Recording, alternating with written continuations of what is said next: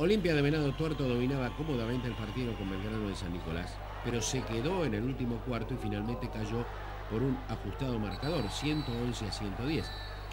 El equipo venadense, con la conducción de Alejandro Monteque, 11 puntos, y el goleo de David Scott, 24, y Seth Moore, 24 también, llegó a tener en el tercer cuarto ventaja de 16 puntos, 78-62, pero los dos últimos 12 minutos jugó muy mal y perdió un partido imposible. En el último periodo los nicoleños, sin el expulsado Mario Milanesio por agredir a Moore, con los tripes de Danilo del Set, Guillermo Gallo y Pablo Prigoni,